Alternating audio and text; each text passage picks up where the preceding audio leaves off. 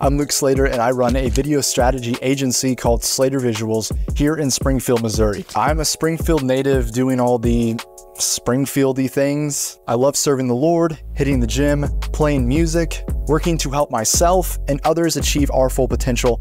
And most importantly, I love telling stories through video. When I was in middle school, I had the chance to create a video for a class project and I loved it. And after that, every chance I got, I was filming something with someone. And then one day I realized that people were actually able to make money creating videos. So in high school, I started a wedding video company and used that to pay my way through college and eventually transitioned out of weddings into the corporate commercial space. Since then, I've been able to work with companies like Incredible Pizza, Silver Dollar City, Discovery Center, and during that time, I learned something important. So important that it has made me change the way I approach my business and how I help my clients. And if you want to know what that is, check out my pinned posts on my profile.